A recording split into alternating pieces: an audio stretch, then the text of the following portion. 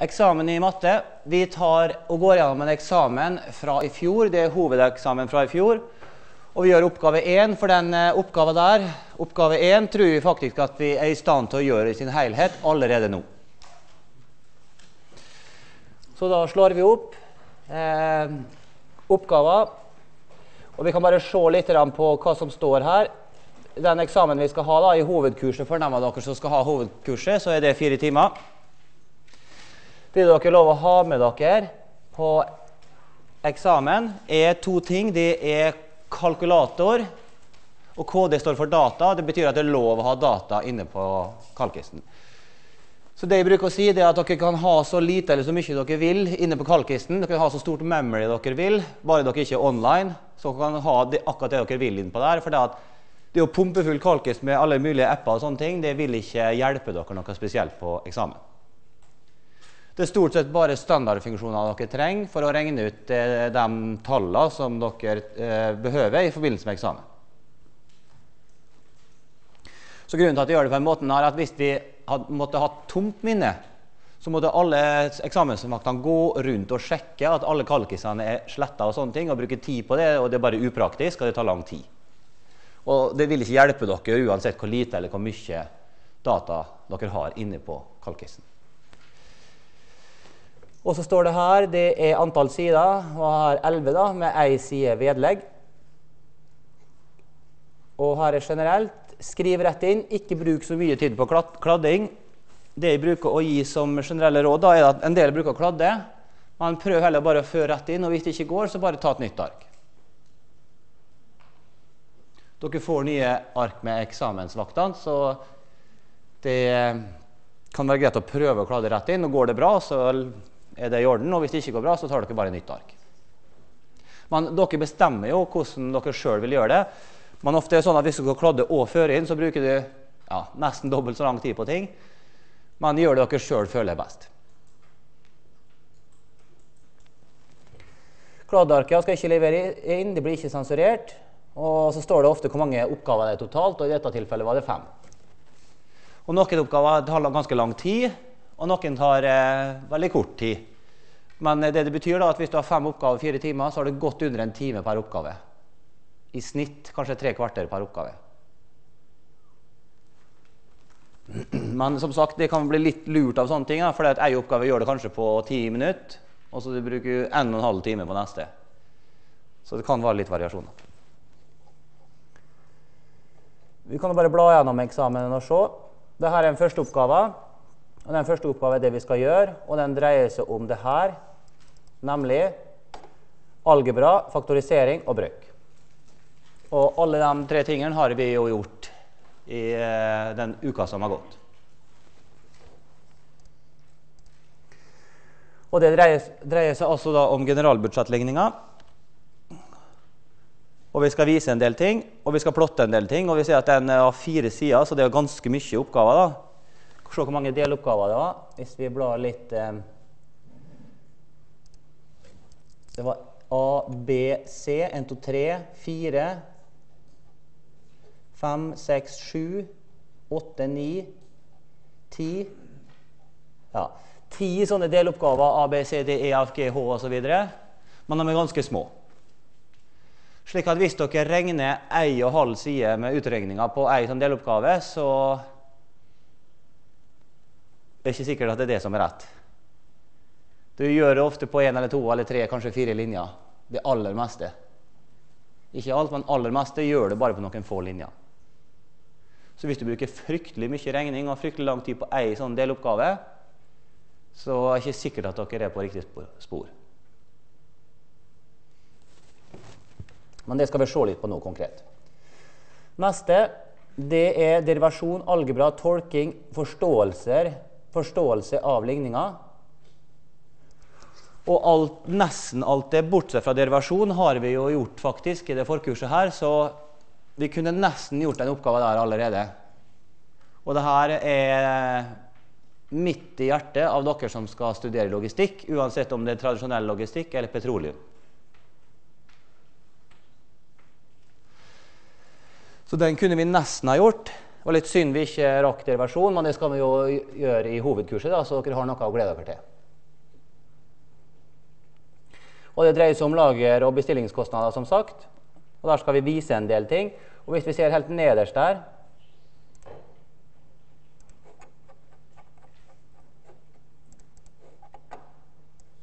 Så er det en del sånne vis att-oppgaver. Og vis, vis at-oppgaver, da har vi jo egentlig svaret. Man skal komme frem til, til, det som står der nå. Og da er det et par ting da, som jeg kan si. Det er at en del er veldig usikker på de, hvor de skal begynne hen. Og det som er en generell regel, da, det er at det som står oppgitt i oppgaven i dette tilfellet her så står vi jo totalkostnaden for å ha lager for å ha lager- og bestillingskostnader er jo gitt ved den ligninga der, ligning 25. Altså det som er oppgitt, der kan vi ofte starte.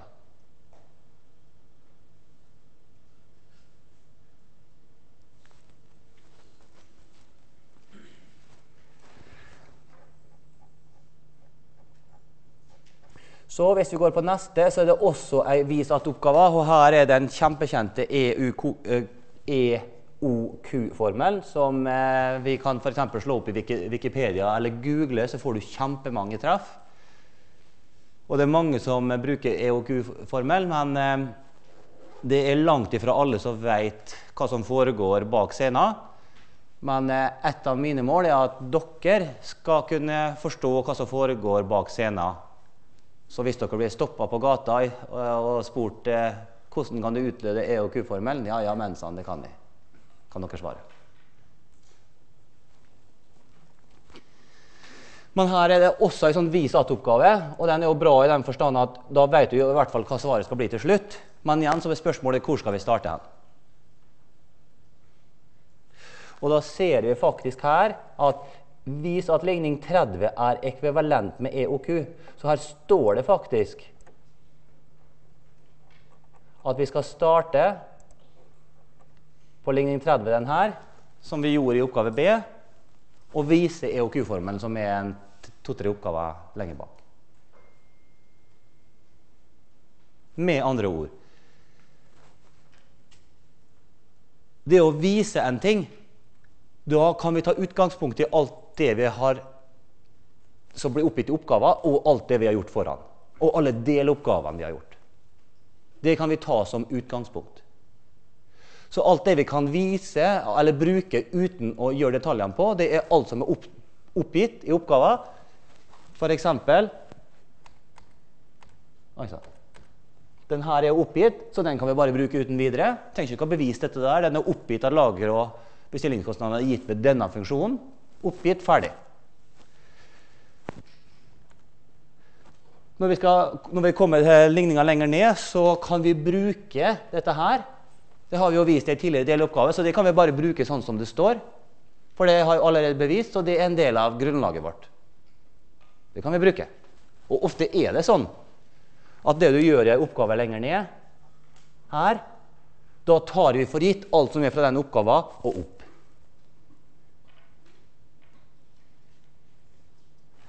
Slik at når vi skal vise den ligninga her, da tar vi det for gitt at vi vet dette.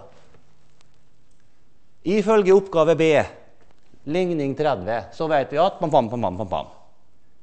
Da kan vi gjøre følgende gange og dele med Q. Ta en kvadratrot på begge sider. Og så får vi pam, pam, pam, pam, pam, pam. Ferdig.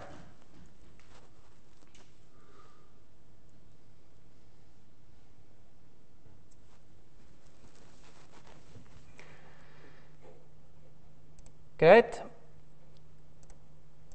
Da har vi den der, og så igjen visat. Og så skal vi anvende dette her på et konkret tilfelle. Og hvis vi ser her nå, så er det snakk om Øverland dekk og bil. Så hvor mye eller hvor lite dekk skal de ha på lager? Skal de ha et kjempedigert lager med fryktelig mange dekk i, i, alle slags varianter? Eller skal de ha veldig lite lager, slik at de må bestille veldig ofte? Hva er lurt? Veldig ofte bestilling eller veldig sjelden bestilling? Og her skal vi være veldig konkret. Og på den måten så kan vi minimere kostnadene til, til det firmaet her. slik at det, det ene halvdelen var teorien og alle formler og visatt og greier. Og så tar vi konkret, konkret eksempel for et spesifikt firma. og gjør det firmaet mer optimalisert. Og dette kunne like så godt vært et petroleumslogistikk-issue. F.eks. ute på en plattform. Hvor ofte eller hvor sjelden skal vi bestille supply på supply-båter der vi får forsyninger? Hvor stort eller hvor lite lager skal vi ha ute på plattformen, eller hvor lite lager skal vi ha ute på plattformen?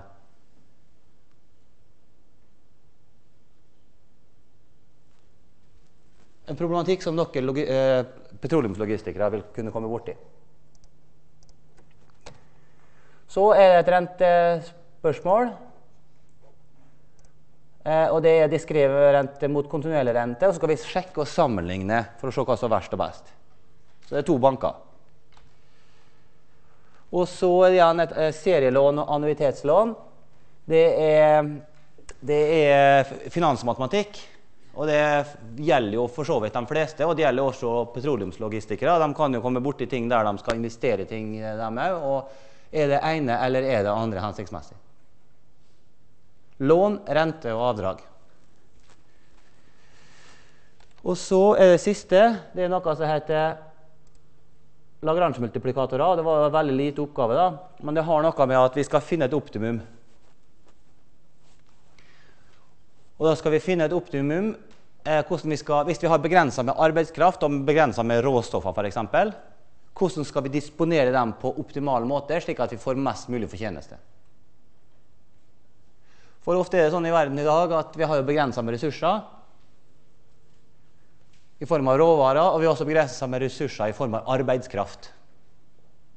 Kanskje særlig her i Norge så er arbeidskraft en større utfordring enn ressurser. Råvarer. Og Derfor så må vi disponere ressursene, både råvarer og arbeidskraft, på optimal måte, på best mulig måte, for å oppnå mest mulig profitt, f.eks. Da skal vi lære en egen metode som heter Lagrange-multiplikatorer. Hvordan vi optimerer f.eks. en profitt under bibetingelser.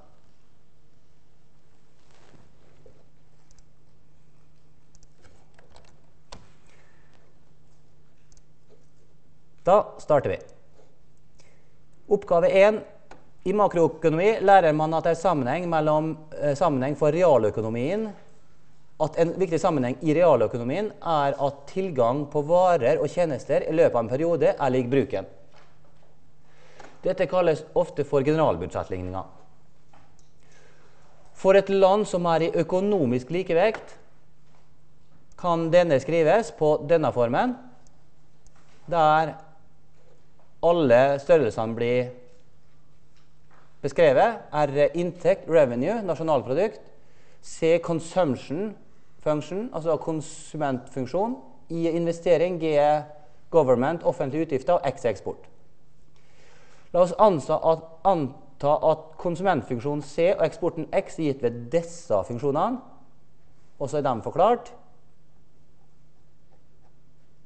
Da er oppgaven å vise at inntekt av nasjonalprodukt kan skrives på denne formen.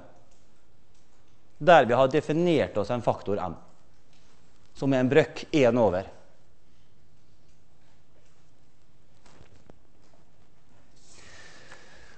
Det jeg vil gjøre da, det er å starte med å se på oppgaven og se på hva som er oppgitt. Og så har jeg lyst til å skrive ned kun det som vi virkelig trenger jeg vil ikke reprodusere hele oppgaven, for det tar lang tid, men jeg vil kun skrive ned de ligningene som jeg virkelig trenger. Og de ligningene jeg virkelig trenger, det er den der. Det er R er lik C pluss I pluss Du bare skriver av G pluss X. Jeg bare skriver av det som vi ser på som viktig. Og jeg gidder ikke å skrive hva de står for, så dette hopper jeg glatt over. Men disse kan være viktige. De ligningene som oppgis, er som regel viktige. Hvor C-en er oppgitt C er lik C0 minus lille c, parentes R minus T. Og X-en er eksport x eller eksport x0 minus lille b ganger r.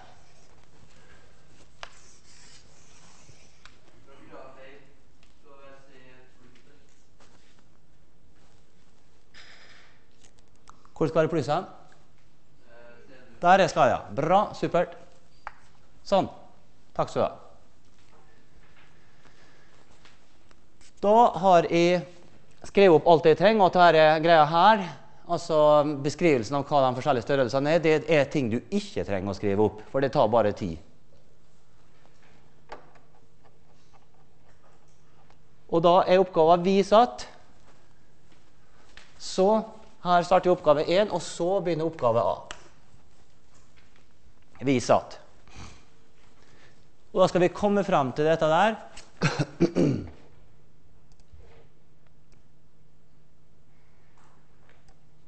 Da skal vi vise denne ligninga der nå. Og Problemet er ofte da hvor skal vi starte hen, og hva skal vi gjøre? Har dere noen forslag? Hvor skal vi starte hen nå? Hva er første steg?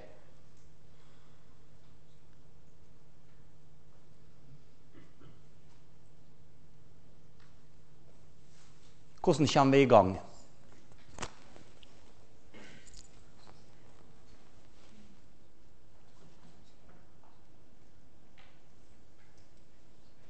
Ja?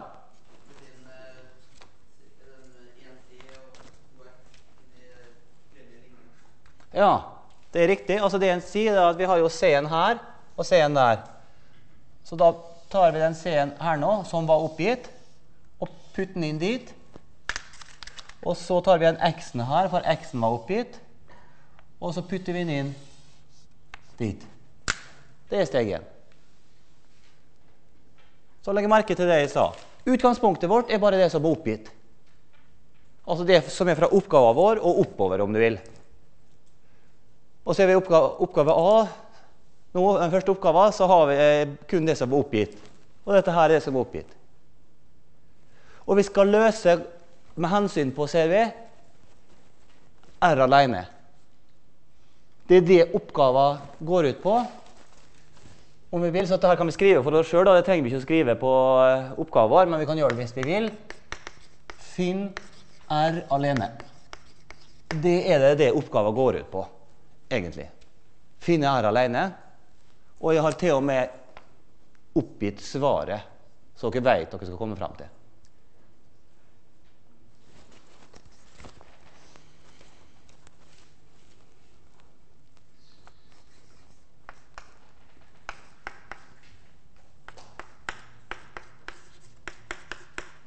Sånn, Så jeg starter bare med å skrive opp igjen ligninga.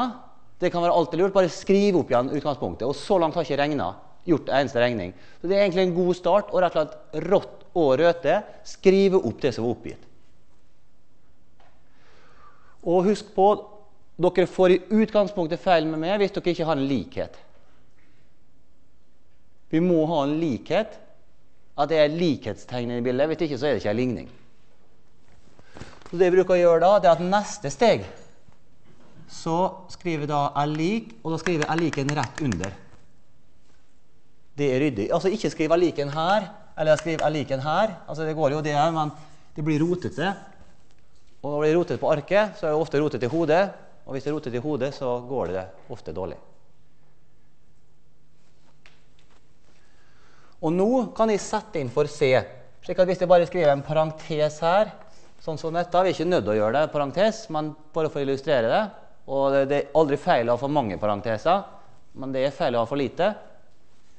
Så setter jeg inn for C her pluss I pluss G, for at I og G har ikke noe uttrykk for. Jeg har ikke noe uttrykk for det, og jeg ser jo det allerede i svaret mitt, som vi skal komme fram til, at I og G bare står der og henger på hele tida og kan ikke gjøre noe med det. Så disse to karene der dem ser vi, jo, dem har vi allerede, så vi er jo egentlig halvnærme allerede nå. Og så X-en, da. Der må vi sette inn noe.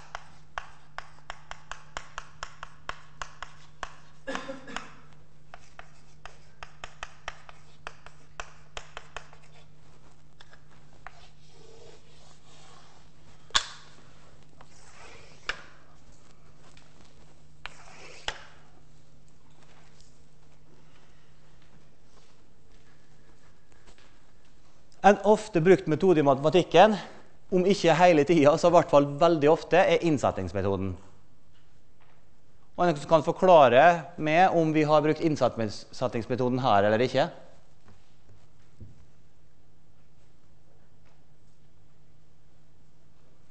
Ja. ja. Og hvorfor har vi gjort det? Fordi at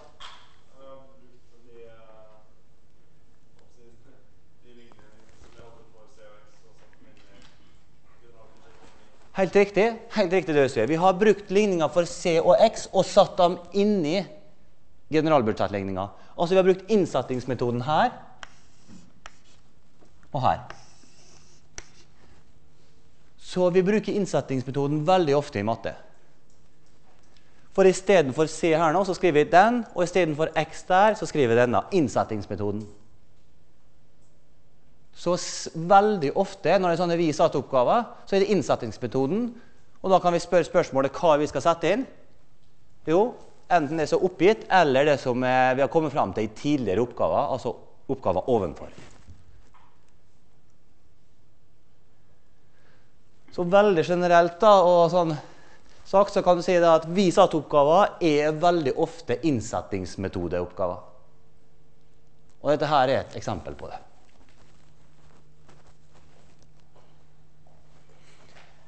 Ett steg har vi gjort nå, bare. Ett steg. Hva gjør vi i neste steg? Hva skjer nå? Dette er oppgaven.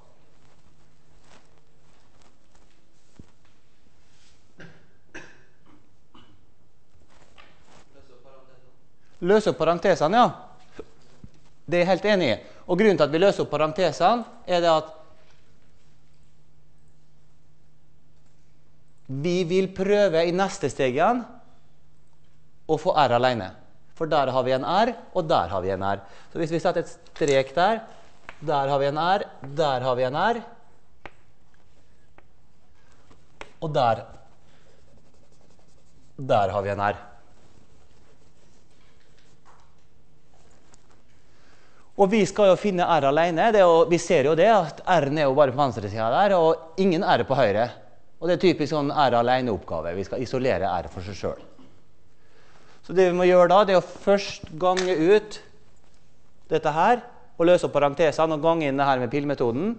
Og så får vi eh, alle mulige r-er, og så flytter vi dem over. Det er strategien, og etter det så er vi ferdig. Ok, Da bare løser vi opp den parentesen der, og så setter vi er likhet rett under igjen. Du ser at vi at R der nå, og så tenker jeg lik, er lik, er lik. Vi trenger ikke skrive R der, er lik, R der, er lik. For å spare litt skriving så setter vi bare er likheten rett under. Lur måte å føre ting på. OK, C0 pluss C ganger R. Det er pillmetoden den gangen den er CR. Og C ganger minus T er minus CT. Og så to karene der kan vi ikke gjøre noe med, så de må bare henge på. For de skal jo være med helt til slutt òg, ser vi. Så vi kan holde et øye med hva vi skal ha til slutt, så ser vi at vi begynner å nærme oss. Og så karene der må bare henge med hele tida, for dem har vi ikke noe uttrykk for. I pluss G pluss Og her er det bare å løse opp parentesen uten videre. For det står pluss foran, og da er det ikke noe fare på ferde.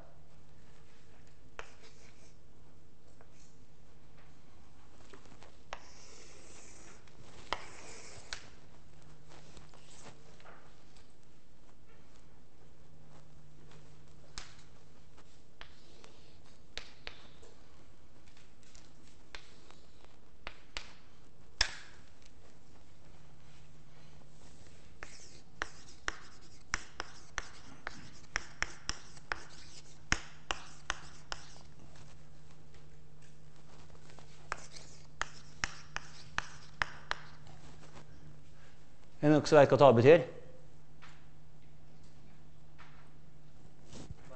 Venstre side. Jeg blir lat vet du, å skrive kort bokstavforkortelse hele tida. Samler alle r-ene på venstre side. Ok, Da starter vi med det som står der, så den er rett. Her. Og så kommer denne karen over, og da får vi minus CR. Og så kommer denne karen over, og da får vi pluss VR er lik. Og hva er det som overlever på høyresida? Det er denne. C0. Den har vi flytta over. Den overlever på høyresida, altså minus CT. Minus lille c ganger t. Disse overlever begge to.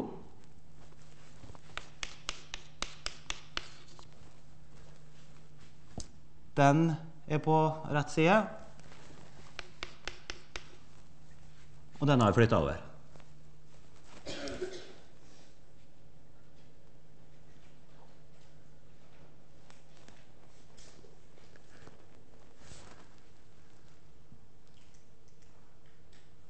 Hvis vi løfter blikket litt nå mens vi holder på, ser vi at vi begynner å nærme oss? Er det noen som har lyst til å kommentere Nei.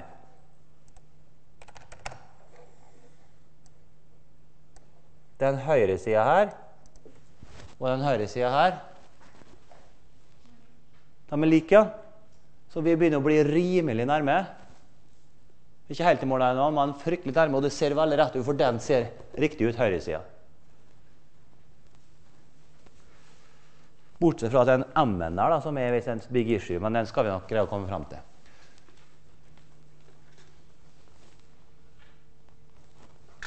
Så la oss se på venstresida, og så er det ett ord jeg skal skrive inn i den firkanten her, inni her, som jeg har lyst til at dere skal ha i hodet, og det er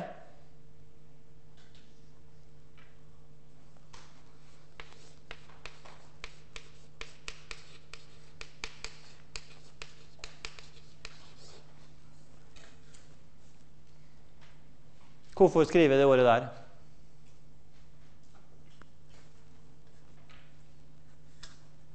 Ja. Fordi at vi kan faktorisere ut r-ene på venstresida. Det er helt rett. For vi har en r der, og en r der og en r der. Og det er hvilken metode av de faktoriserings, tre faktoriseringsmetodene vi har lært? Fellesfaktor metoden, for det er en fellesfaktor, det er en fellesfaktor, og det er en fellesfaktor. Alle tre har en fellesfaktor, R. Da blir det R gange, og så en parentes er lik.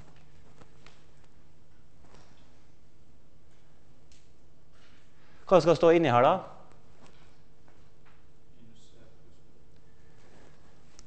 Det første her blir 1, og så blir det minus C, og så blir det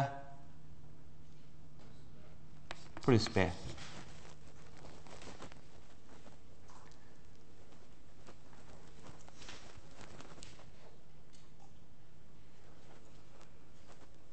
Ja, Det begynner å nærme seg, men denne har greid å komme i kjelleren. da. Det var litt irriterende. Én del på, så den her er i kjelleren. ok? Men la oss være litt lat og skrive her Hva står HS for? Høyre side. Og høyre side det er hele dyret der.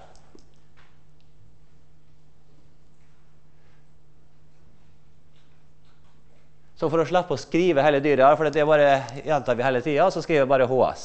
Iallfall i mellomregningene. Med sluttsvaret så skriver jeg det ut eksplisitt. OK, er vi ferdige nå, eller? Flytt over hva? 1 minus C pluss B. Ja, hvordan skal vi flytte over den? da? Skal vi flytte over den, og så får vi en minus? Dele på begge sider, ja.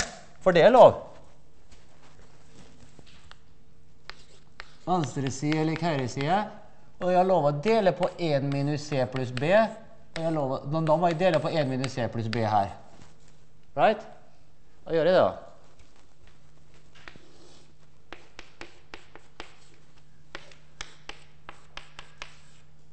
Hva kan jeg gjøre nå? Stryke? Ja, men det er jo pluss og minus her. Er det lov å stryke, da? Det er inni en parentes om du vil sånn, ja. Altså det er ganging her. Og da kan vi stryke den mot den. Og vi står igjen med R alene. La oss skrive da.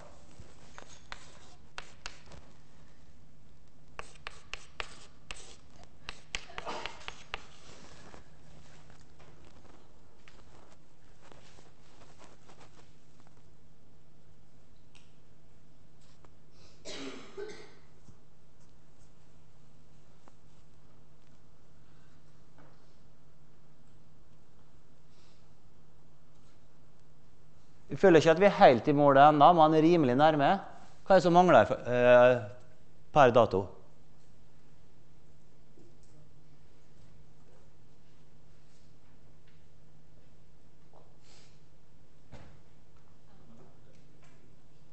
Hva som mangler? En M, ja. Hvordan greier vi å få til en M i bildet her, da?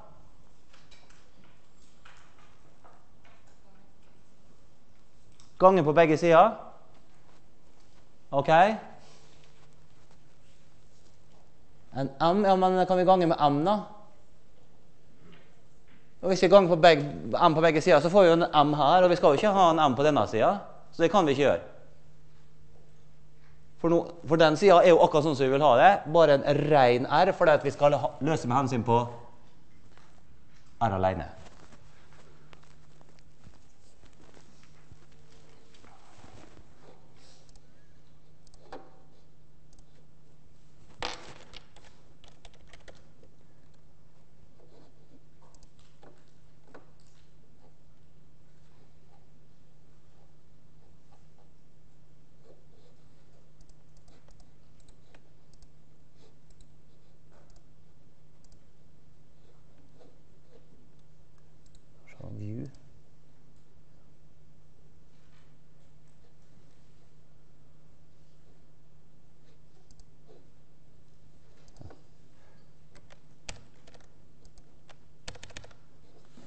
Så hvordan får vi til Skal vi se, den er borte.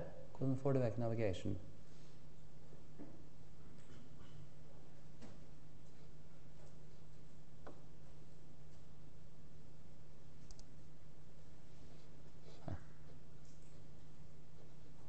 Det gikk ikke bra.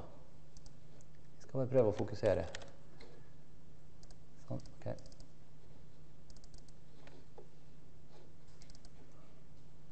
Der kom den.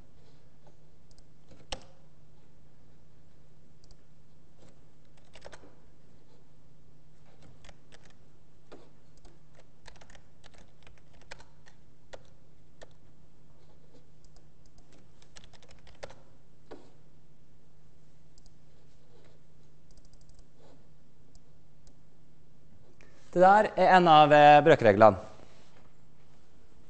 Så hvis de har f.eks. Um, hvis de har f.eks. 3 ganger 7 delt på 2 Den treeren her, skal den, opp, skal den opp eller ned?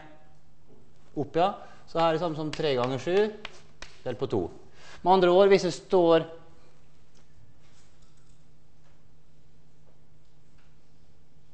Så vi kan gjøre det på den måten. Og er dere enige i at også vi kan skrive det her som Den toeren der er det samme som en halv ganger tre ganger sju? Er dere enige i det? Slik at det som står der, er det at jeg har tatt bare en halv nå, for nå, tre ganger sju skal jo opp, ikke sant? Slik at dette her og dette her er det samme. Er dere enige? Så hvis det står en toer der, i kjelleren, så er det samme som 1 over. La oss ta et annet eksempel.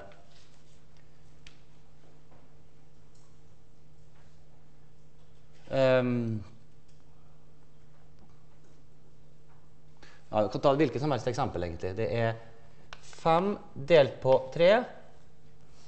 Det er det samme som 1 ganger 3 ganger 5. Kjøper dere den? Enig? OK.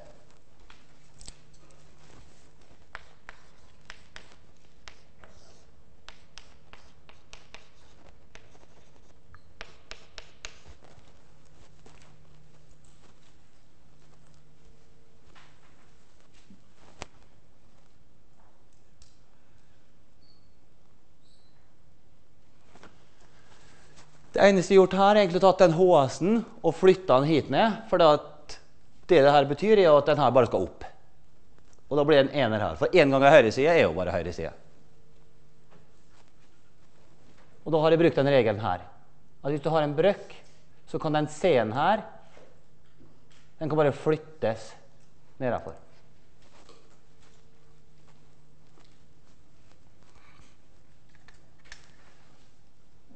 Hva gjør vi nå? Stirr på den der, og stirr på oppgaven.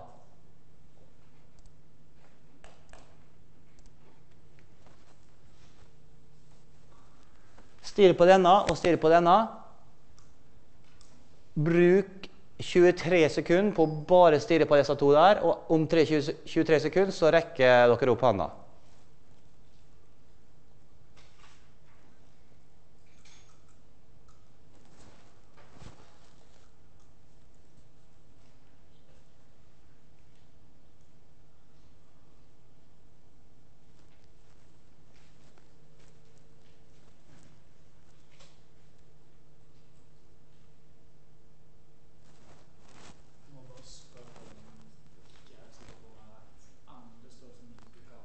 M står for multiplikatorer. ja.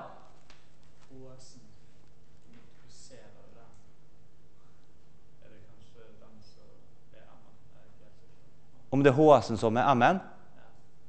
Nei, HS-en er ikke M-en. For hva er HS-en? Det er høyre side, hele dyret der. Ja. Ja. Ja. Ja, det stemmer. Den her Hva er det for noe? Hva er den der? Én delt på pam-pam-pam-pam. Én delt på pam-pam-pam-pam. Hva er dette for noe? Det er M-en vår.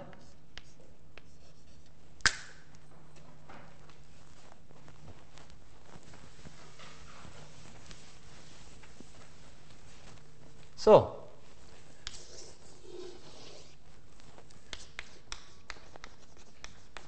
Dermed er skriver her, da.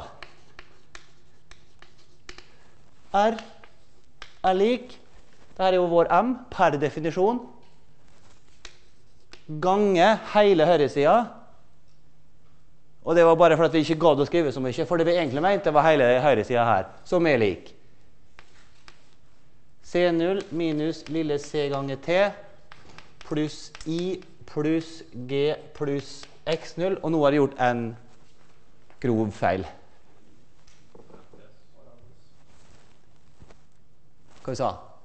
Parentes, ja. Den får det ganging her, da er hele høyresida som skal ganges med det.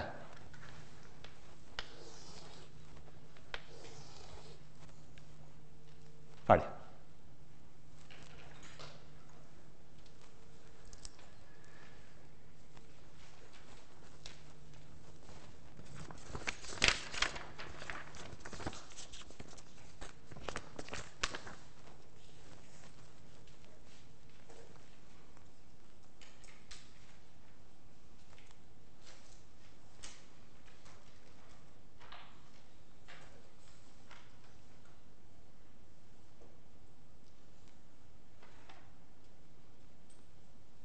Enig?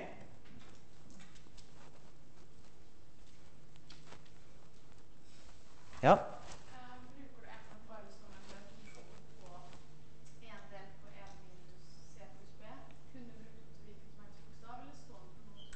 Det er et veldig godt spørsmål. Det å, spørre, det om, som alle får det med seg.